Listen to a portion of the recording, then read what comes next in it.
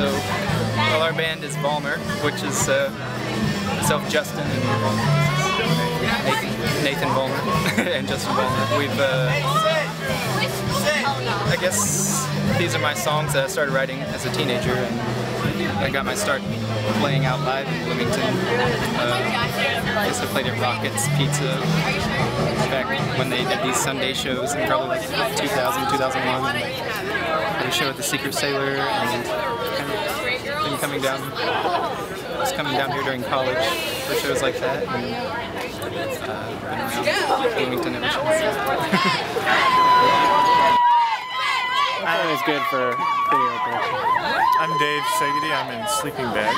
Um, and uh, we got started last last uh, last March of 09. I was a fan of Vollmar's when I was in high school, before I knew him as a, guy. And uh, and uh, now I'm on a split with him, so that's cool. Well, I wanted Sleeping Bag's first release to be kind of um, not a full length at first, kind of like a small, you know, introduction to the world. And uh, and Valmar is really good, so figured, you know, Yeah, I guess Dave kind of pulled it together uh, real quick in about a month. Uh, just like I think maybe we could get Standard to do this. They put out our Aaron and the Furnace Records, and uh, yeah, they did.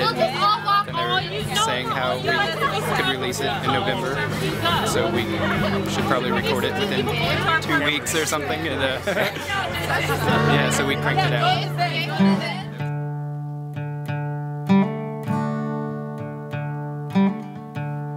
We together in this moment?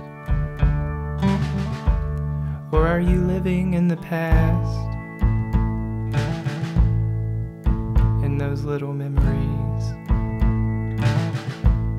that inform your daydreams. I'm drumming on his side, not this yeah, guy. yeah. I'm not drumming. Oh That's yeah, not his stuff. he's not in- even in the band. They did it behind my back, man. I mean, I didn't even know what was going on. Then I was like, hey, what? Uh, I'm, I'm just this guy's uh, rodeo clown, and I, well, I did print the sleeves. I did the layout.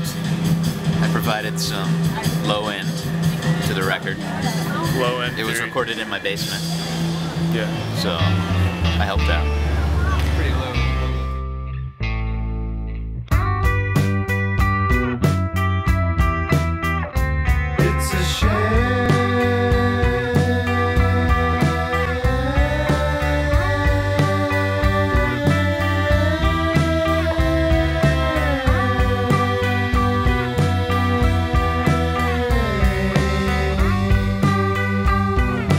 Get uh, split at your local record store.